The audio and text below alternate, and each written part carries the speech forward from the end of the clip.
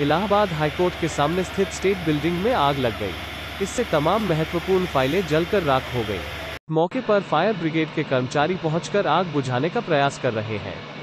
आग लगने के कारणों का पता नहीं चल सका है। इलाहाबाद हाईकोर्ट के सामने उत्तर प्रदेश महाधिकता का कार्यालय में सुबह छठे मंजिले से धुआँ उठने पर हड़कंप मच गया।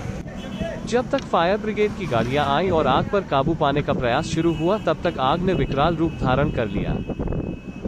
छठे मंजिल की आग सातवें और आठवें तल तक पहुँच गई। हज़ारों फाइलें जलकर राख हो गई। मौके पर अफरा तफरी मची है। तमाम आला अधिकारी पहुँच गए हैं। डॉक्टर भीमराव अंबेडकर बिल्डिंग, जो कि एडवोकेट जनरल साहब की ऑफ़िस है, बिल्डिंग है।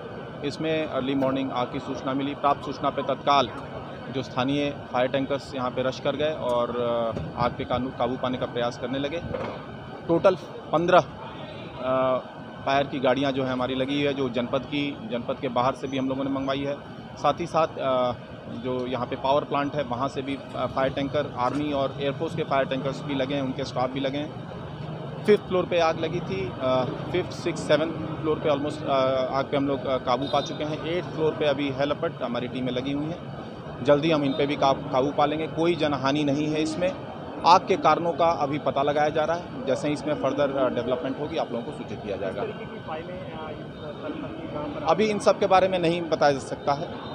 वो तो जो इंटरनल जांचें होंगी, उनमें जब रिकॉर्ड देखा जाएगा, तभी बताया जा सकता है। अभी हमारा प्रायोरिटी जो है, आग को बुझाना है और हमारी टीमें इसके लिए लगी हुई हैं। मैंने बताया अभी कि अभी वजहों के बारे में नहीं कहा जा सकता है। उसमें डिटेल इसकी जब जाँच होगी, तभी पता चलेगा जगह मैंने अभी आपको बताया, ज़िले की जो हमारी फायर की टीम है, पूरी टीम लगी हुई है। उसके अलावा जनपद प्रतापगढ़, जनपद कौशाम्बी, आर्मी की एयरफोर्स की और साथ ही साथ जो पावर प्लांट है, वहाँ की फायर टीमें इसमें लगी हुई हैं।